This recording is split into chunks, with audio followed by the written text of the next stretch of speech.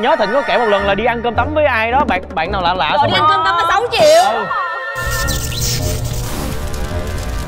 xong rồi ăn cái miếng hành dính vô răng nhe răng cười xong bị bạn đó bỏ đi về đó.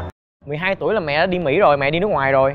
Xong rồi ở nhà thì ờ, chỉ lâu lâu có có nhờ những người dòng họ xong hàng xóm nấu ăn xong mang đồ ăn qua cho. Năm vừa rồi là ăn ở ngoài hết luôn là không có ăn cơm nhà. Năm tiếp theo em nấu cho anh ăn. Năm tiếp theo em nấu cho anh ăn. Hả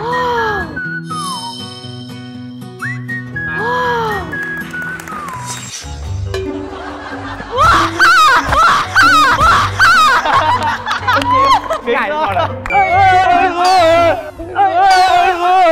Rồi.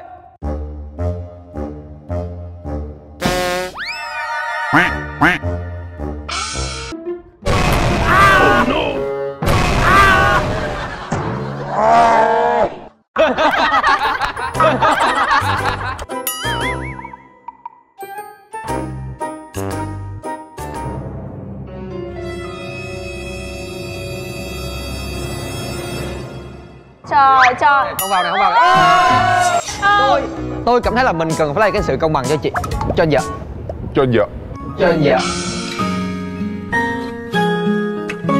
Cho vợ. Vợ.